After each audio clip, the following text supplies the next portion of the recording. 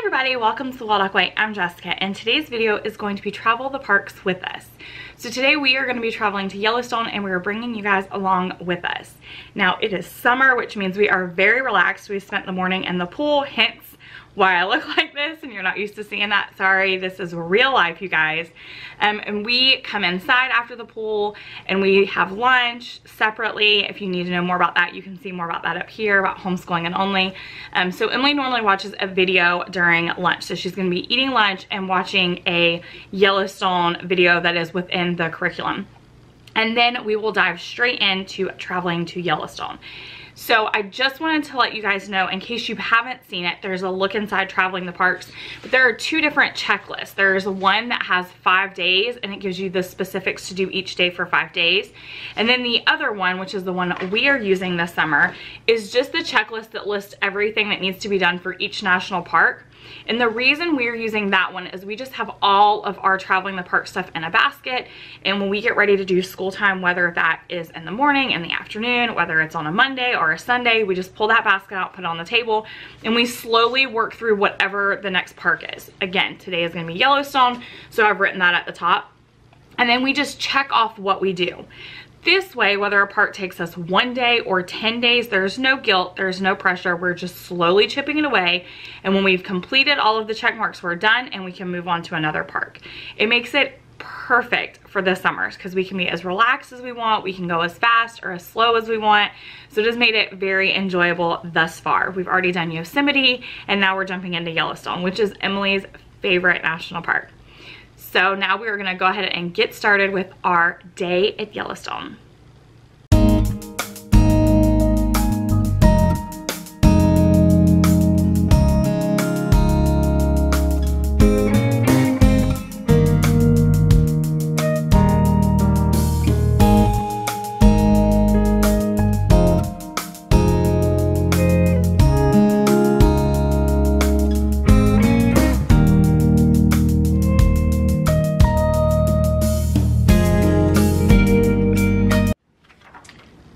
We'll do the parks and numbers later.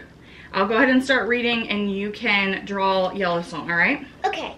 All right, so Yellowstone is weird, like really, really weird. It's filled with geysers that spew streams of hissing water into the air. These large craters look like blowholes of humongous whales and they're everywhere. Also, watch out for rainbow colored hot springs that could be that could boil a potato. Not bizarre enough, be careful of cracks in the ground that belch steam. Standing next to one of these steam vents is like burping in is like bumping into a burping dragon. Sure, you'll also find pretty waterfalls and fields of blooming wildflowers. The park is so big that many people drive through to see every inch of beautiful landscape. But this isn't your grandma's park, unless your grandma likes blasts of molten air and giant puddles of bubbling mud soup. Now what, from what you know, because you already know a little bit about Yellowstone, what is Yellowstone most popular for? Um, Yellowstone is most popular for um, a giant volcano. Well, it is a giant volcano, but what is the thing that everybody goes to Yellowstone for? What is the thing you want to go to Yellowstone to see? To see Old Faithful. Which is the largest what? It's what? like the, the largest and the most popular... Um, do you know what the word is that we just talked about where it comes up? What do we call that? Steam? No, it's steam, but what do we call the thing that it makes? A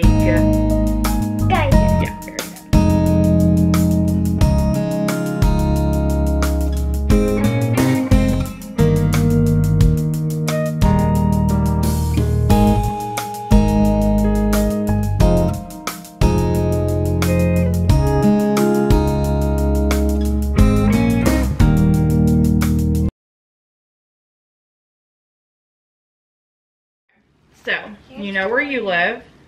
Yeah. All right, and then Yellowstone is number 58. So let's find number 58. Can I do it? Yeah. So.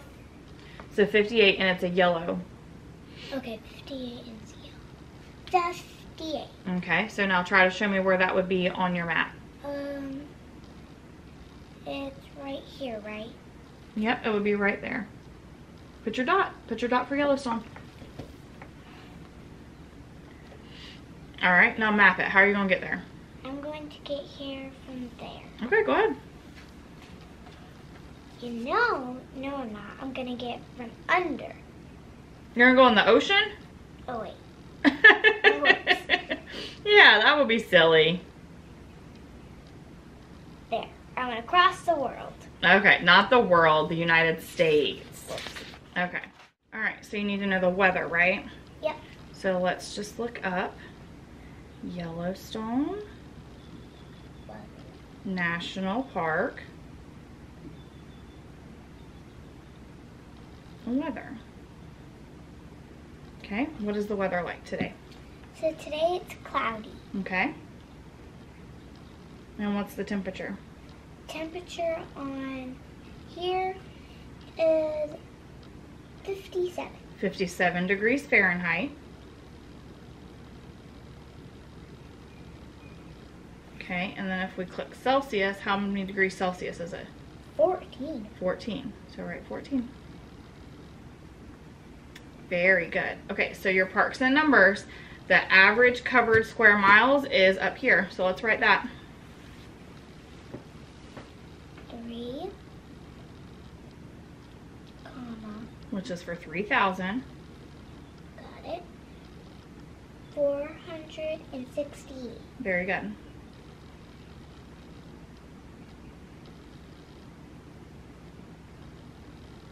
Okay. How many, what's the number of grizzly bears? The number of grizzly bears. Um, do I have to put the dash? Yeah, because that means 674 to 839. So it's somewhere in between those numbers. Okay. All right, so now we have to figure out our traveling expenses, right? Yep. Okay, so let's go into the map and we're going to search Yellowstone National Park. Okay, and we're going to get directions from there, from our house to there. We're going to make sure we don't show our address. Okay, so how many miles is it from our house to Yellowstone? One day, No, how many miles, Oh. not how, how much time. sorry, um, 2,272. Okay, so let's write that for miles to the park.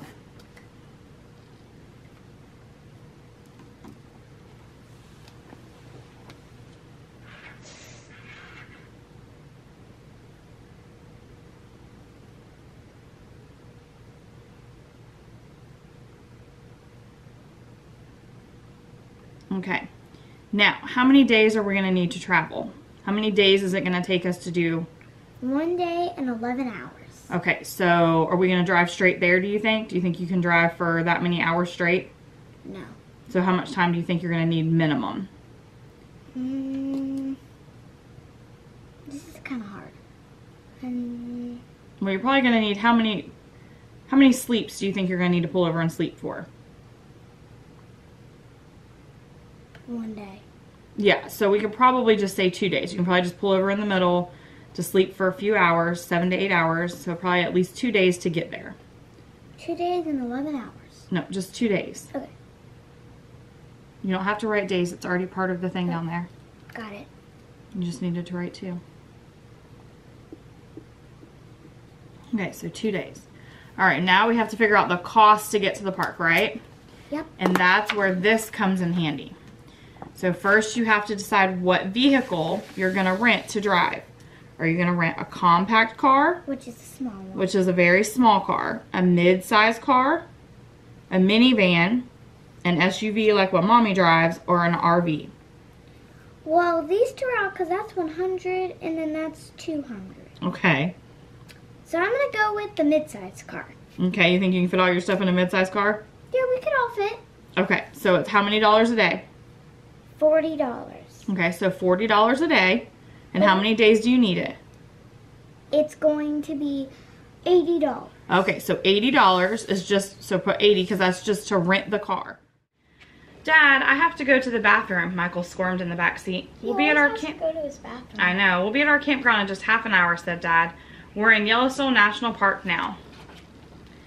He's just nervous, said Michael's sister. He thinks a bear's gonna eat him. She growled at Michael and made her fingers look like claws. Stop it, Emily, said Mom. Nobody is getting eaten by anything. Michael was very excited about the trip, but Emily was right. He was nervous. He had just read a book about grizzly bears. He knew how big they could get. He also knew that a hungry grizzly bear would eat just about anything, maybe even a boy. I am kind of scared of bears, admitted Michael. Don't worry, Dad told him. We'll show you how to count a bear's toes and never get close enough to be scared. Here's our campsite. Let's set up the tent. Then we can go for a walk, and I'll show you what I mean, Dad said. Michael was awfully worried about grizzly bear toes, but tried not to show it. Let's hurry, said Emily. I want to see some animals. Once the tent was up, the whole family went for a hike, and Emily started to complain before they even left the campground. I haven't seen any animals yet. Maybe there aren't any here. There are definitely animals here, said Dad. We're going to learn about them from their scat. Like a raccoon. Mm-hmm. Scat, said Michael. What's scat? Scat is the word hikers and tra trackers use for animal poop, Mom said. The big flat thing here is bison poop. People call these buffalo chips. Ew, that is not like any potato chip.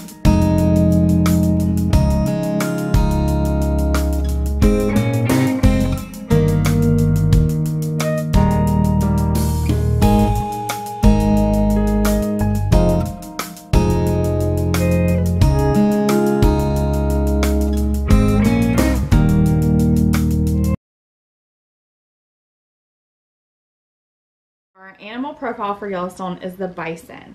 Bisons are a symbolic animal of the Great Plains and often mistakenly called buffaloes. They are formidable beasts and the heaviest land animals in the North America. Bison stand some five to six and a half foot tall at the shoulder and can tip the scales at over a ton. Their scientific name is, are you ready for it? It's super fancy. What is it? Bison bison. They are a bison. That's their scientific name, bison bison. That's weird. hmm Their predators are wolves, mountain lions, and bears. And then their prey are none because they are herbivores and they only feed on grasses and sedges. That's just weird. That What? their name. Their Their scientific is bison bison. I know. They are a bison. I know. okay, so finish writing that and then write bison bison for their scientific name. And then you can illustrate your bison and its habitat. And you can illustrate its predators or you can draw some grass since they doesn't have